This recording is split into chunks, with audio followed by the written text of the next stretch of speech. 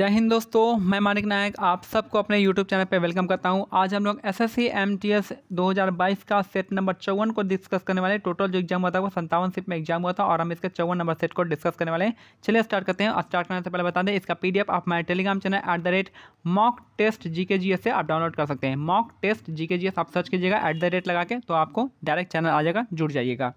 अक्टूबर दो हज़ार बाईस की स्थिति के अनुसार उच्च न्यायालय के न्यायाधीशों के रूप में नियुक्ति नियुक्ति के लिए किसी ऊपरी सीमा क्या है? तो आपका बासठ वर्ष है।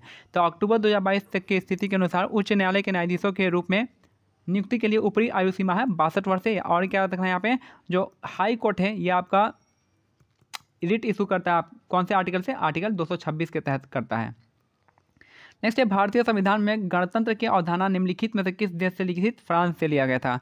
याद रखना है, जो भारत में जो आपका गणतंत्र का जो भावना आया था, वो आपका फ्रांस से आया था। देखिए मतलब सिंपल सा आपको याद रखना है, idea of liberty, equality and fraternity ये तीन शब्द है। लिबर्टी, इक्वालिटी एंड फेटर्निटी कहाँ से आया? ये आपका फ्रेंच रिवोल्यूशन से आया। फ्रेंच रिवोल्यूशन कब होता था? सत्रह सौ नवासी में हुआ था। ये आपको याद रखना है। तो यहाँ पे यहाँ पे पूछा है आपको कौन सा? गणतंत्र, यानी लिबर्टी, इक्वालिटी एंड फैटर्निटी गणतंत्र जो आया था ये भी आप गणतंत्र भी कहाँ से, ये बता दिया फ्रांस से, और ये सामने लिबर्टी, इक्वालिटी फटनरी ये तीनों भी आपका फ्रांस से आया था, फ्रेंच रिवोल्यूशन से। नेक्स्ट है, बांझपन निम्नलिखित में से किस विटामिन की कमी से होता है तो विटामिन ई हो जाएगा। विटामिन ई जो है आपका रिप्रोडक्टिव ग्लैंड से संबंधित होता है, या और इसको हेल्पफुल करता है, विटामिन ई। तो बांझपन जो है, विटामिन ई की कमी से होता है। डी से क्या होता है, आपका रिकेट्स होता है, ऑस्टियोपेरेसिस होता है, याद रखना है। Vitamin B one beriberi हो जाएगा। विटामिन के विटामिन के का तो ऐसा कुछ पता नहीं है कि एनीमिया हो जाएगा एनीमिया है एनीमिया से होता है। नेक्स्ट है निम्नलिखित में से कौन सी मिसेल ओबामा की आत्मकथा है? तो बिकमिंग इसका करेक्ट आंसर हो जाएगा। तो बिकमिंग जो हो जाएगा आपका किसका है? मिसेल ओबामा का आत्मकथा है। देखिए सिंपल से एक, एक क्या है? माई लाइफ माई म्यूज़िक ये आपका पंडित रविशंकर का है। इसी टाइप का बाबा रामदेव का भी है। माई लाइफ याद नहीं आ रहा है। आज़ादी के पहले भारत में गरीबी रेखा के अवधारणा पर चर्चा करने वाला पहले व्यक्ति कौन थे? ये थे आपके दादा भाई नौरोजी। काफ़ी इंपॉर्टेंट पर्सन है यहाँ पे दादा भाई नौरोजी। इनको ग्रैंड ओल्ड मैन के नाम से जानते थे। दूसरा है, इन्होंने दो बुक लिखी है। एक तो poverty un British rule in India दूसरा है वॉइस ऑफ़ इंडिया दादा भाई नौजी राष्ट्र गुप्तार भी इन्होंने लिखा है। राष्ट्र गुप्तार हो जाएगा। और साथ में जो है दादा भाई नौजी ने पहले ब्रिटिश, पहले पहले जो थे, आपके ब्रिटिश सांसद में चुने गए पहले भारतीय थे।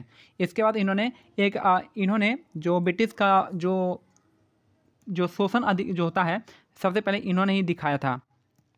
और भारत का नेशनल इनकम पहली बार इन्होंने ही नेशनल इनकम कहो चाहे पर कैपिटा इनकम इन्होंने ही दर्शाया था। इन्होंने तीन बार कांग्रेस की अध्यक्षता की थी, याद रखना, तीन बार किए थे इन्होंने।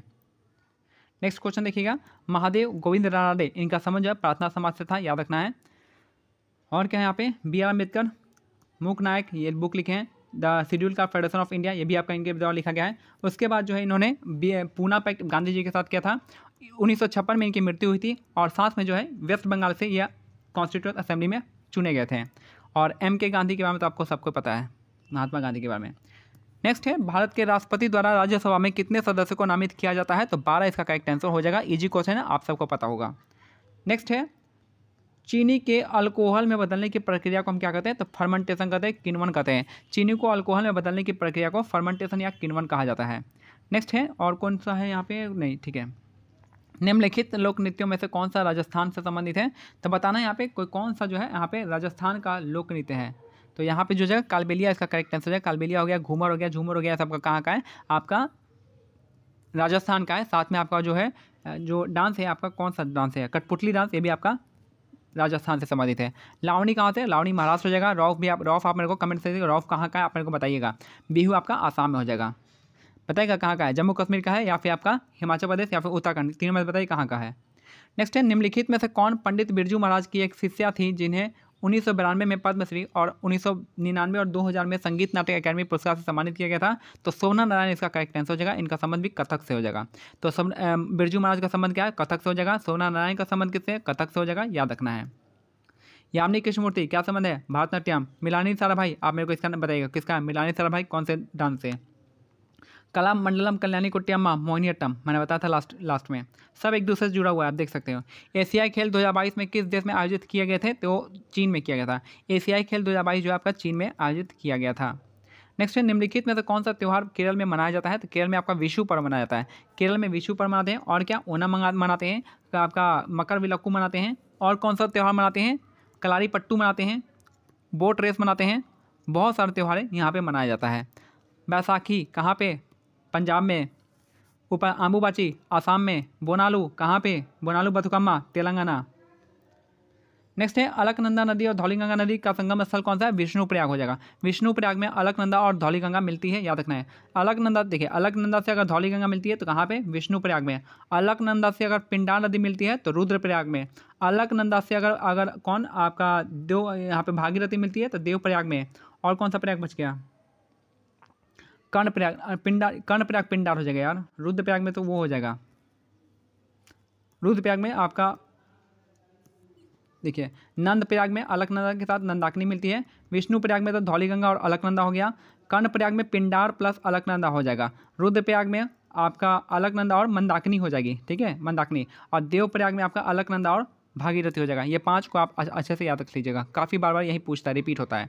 अखिल भारतीय मुस्लिम लीग की स्थापना किस वर्ष हुई थी? ये तो उन्नीस सौ छः में हुआ था। अखिल भारतीय मुस्लिम लीग की स्थापना सलीमुल्ला खां के द्वारा हुआ था। कहाँ पे हुआ था? उन्नीस सौ छः में ढाका में हुआ था। ढाका, बांग्लादेश की राजधानी थी, वहाँ पर हुआ था। इसके बाद जो है, आगा खां इसके पहले प्रेसिडेंट बने थे। इतना ही पूछता है। नेक्स्ट नेक्स्ट है, सरकार डैश सरकार, केरल सरकार नवंबर दो हज़ार बाईस में प्रौद्योगिकी प्रौद्योगिकी हस्तांतरण योजना, यानी टेक्नोलॉजी ट्रांसफ़र स्कीम की शुरुआत की थी। टेक्नोलॉजी ट्रांसफ़र स्कीम की शुरुआत केरल सरकार ने किया था।